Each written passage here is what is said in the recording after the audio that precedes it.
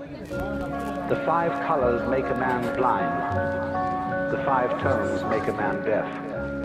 Because if you can only see five colors, you're blind. And if you can only hear five tones in music, you're deaf. The, the world of color is infinite, as is the world of sound. And it is only through stopping, fixing conceptions on the world of color and sound, that you really begin to hear it and see it.